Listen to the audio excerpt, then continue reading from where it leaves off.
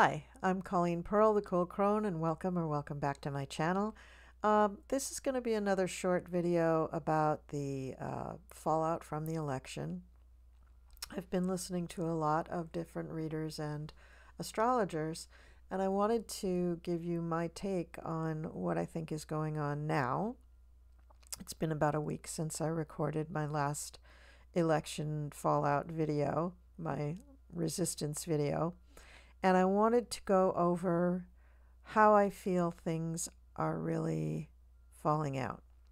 Now, I've noticed that some readers are just bemoaning the fact that, uh, you know, people must have voted wrong and Kamala lost. I don't think she lost. I think that the interference was great. I'm just going to leave it at that. I'm not going to go into great detail because I don't want to get my channel uh, closed down. but what I will do is I'd like to show you Joe Biden's chart and the chart of today and just show you what's going on astrologically because I think that might help explain what is really going on. All right, so this is Joe Biden's chart. And what I have superimposed around the outside are the planets for today, and it is Sunday, November 17th. It's almost two weeks after the election. And what I want to point out is that the sun right now is currently hovering over Joe's 12th house.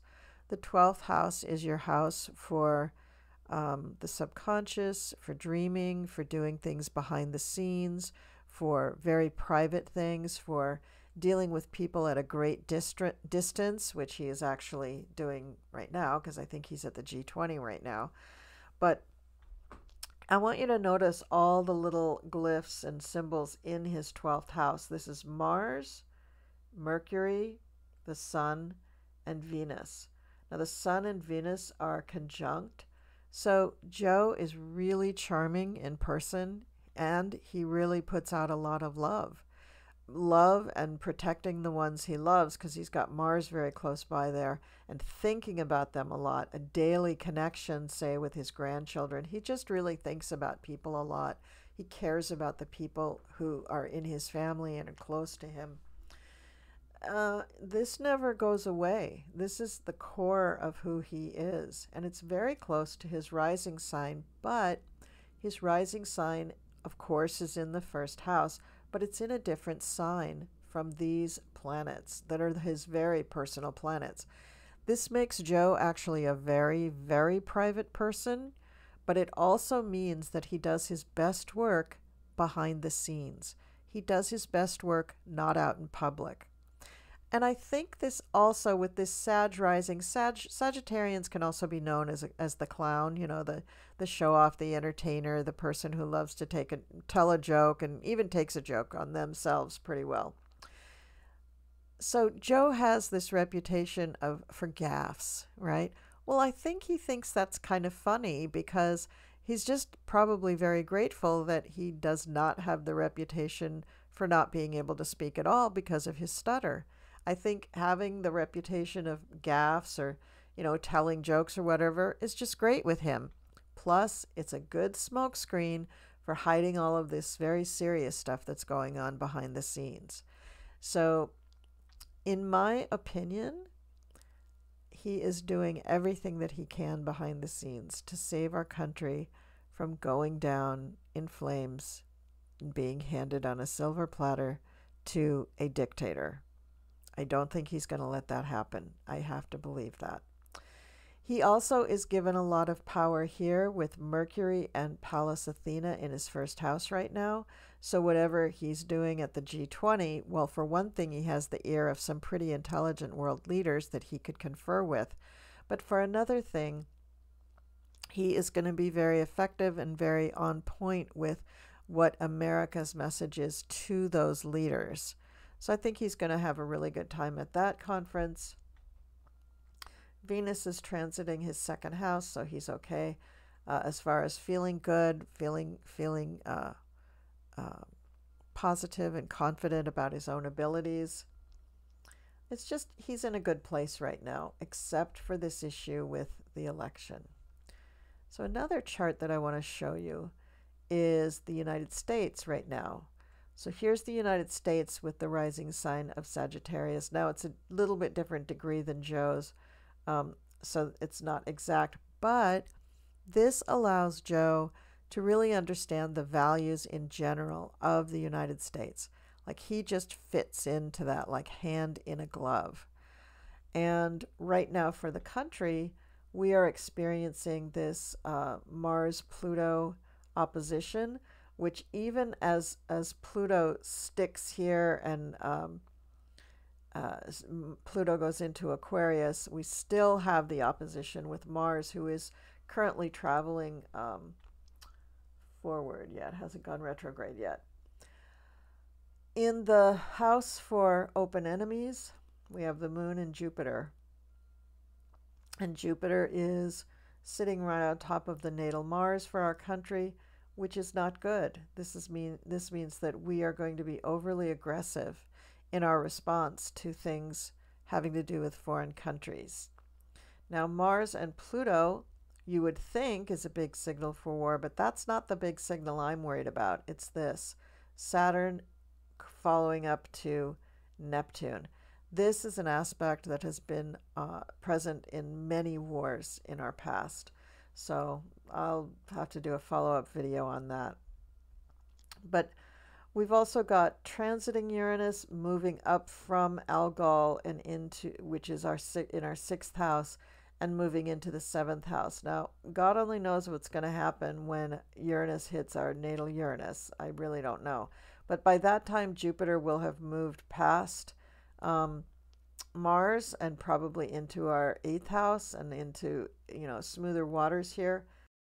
Jupiter is a little weak in Cancer. It's not super strong. It's very weak in Gemini because it's in the house of its um, fall. So that's what I have to say about the United States. And uh, let me see if we can pull up some other charts here and just get a bead on what's happening there. Okay, I have pulled up the chart for DJT Orangina with the transits for today going around his chart. And he has Mars in his first house, tra well, transiting Mars, coming into his first house. Um, where he has Pluto, which um, I don't think that's really great to have Mars come up on your Pluto. I don't think it's very comfortable. He has Saturn in his eighth house, which means that he's being restricted with his money. And we know that's true. That has been going on for a, like a year and a half. Um, transiting Pluto is on the cusp of his seventh house. So this is really not comfortable. This is going to be like for the rest of his life because he's already almost 80. So Pluto's going to be in Aquarius for about 20 years. So this is going to be, I think, for the rest of his life. He's going to have Pluto just plaguing him, dogging his heels when it comes to anything having to do with partnerships or anything like that.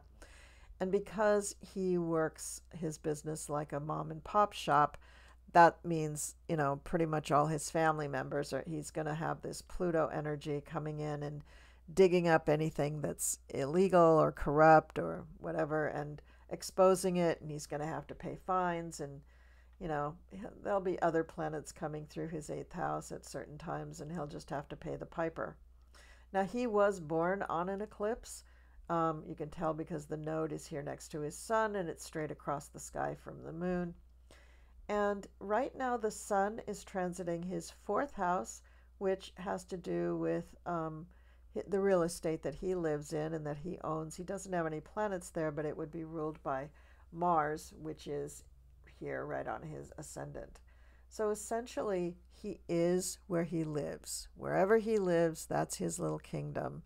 And, um, you know, he just, he, he really needs a lot of adulation. It's very sad. Um, the moon is um, up here in his 11th house, uh, coming close to Jupiter. Jupiter is currently just coming upon his uh, Sun Uranus conjunction, which triggers the uh, opposition between his Sun and his Moon and makes everything bigger. So I think that with this making everything bigger and because he has a conjunction with Uranus, I think this also um, jangles his his mind and his the way that he looks at reality. I think right now he's not really in reality totally. I think that's why we're not seeing speeches, we're not seeing him talk in public. I would love to have been a fly on the wall to see how he behaved with uh, President Biden. I know they probably only showed the best clips, you know, that made him look the most sane on television, but I don't know. I would have loved to have seen that in person. He has Saturn conjunct Venus, which always means for him, he's always making up for something. He's always compensating for something because he really doesn't love himself and he really doesn't feel that he's worthy of actual love. So he's always worried about that and asking people to prove their love to him. Uh, that's why you have the loyalty tests and such. Not a really great period in life for him. His Saturn is. Um, in a very well, it's in a difficult place. It has been, and even when it was in the seventh house, that was a difficult place. But uh, again, as it comes up close to this Neptune, I'm just worried about what could happen for him. And finally, I think we'll just take a peek at Kamala.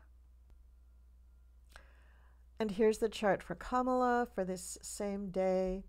We have Uranus conjunct Algol, very close to her first house, but not close to her ascendant, which her ascendant has the um, North Node conjunct to it. So she definitely has a destiny and she feels a sense of destiny. And I do believe that having the outcome of the election be so unexpectedly bad I do feel that this um, caused her to feel bad, to feel really deflated. But I think she's a fighter and she's getting back up on that horse and she's going to ride it again. Now, right now, today, the moon and Jupiter are going through her first house, coming up to her ascendant. So I think that that Jupiter coming up to her ascendant is going to give her a big boost. And I think that that's going to help her rally and get her joy back and get her feeling like, yes, I can. I have to get up on the horse and do it again. Uranus is going to hang back here in her 12th house for a while because Uranus is moving really slow. I think it's still retrograde. Yeah, it's retrograde, so it's actually going to be moving back into her 12th house a little bit more. Uh, Jupiter, oh, Jupiter is retrograde, so Jupiter is going to stay in that first house for a little while while it goes through the retrograde period. What else is retrograde? Uranus, Jupiter, Neptune is retrograde. So it's going to be hanging out there. Saturn is finally moving forward. And so Saturn will be catching up to Neptune uh, over the next few months. Not right away, it's too slow moving. But I just wanted you to see that she's very clear in what she's doing. Now, she does have Jupiter in the 12th house, which um, Uranus is stimulating right now. Um, so she can also wield her legal magic behind the scenes. This is something that she kind of has in common with Joe Biden, although for him, he has so much uh, planetary energy in the 12th house, it's really a superpower for him. She has um, Sun in the fifth house in Libra, opposing her Aries moon. This person knows how to fight. She knows how to use the system to fight. She knows how to fight with words. She also knows how to fight as a woman. She's pretty balanced with her planets. So her yin yang is really good, really tight. She understands who she is and what she is doing. Her Saturn is up here, approaching her midheaven, very tight to it, but in the ninth house in Aquarius. So as we come into the Pluto and Aquarius age, I feel that she's going to do much better than DJT. DJT's Pluto is in Leo. That's where my my Pluto is as well. And when Pluto is coming into Aquarius, that's its opposite sign. So that's not going to be easy for people in power. For me, it's, you know, going to be Wednesday. For most people who are in power, though, in positions of power especially, that's going to be a challenge. So that's not going to be great. back to Kamala.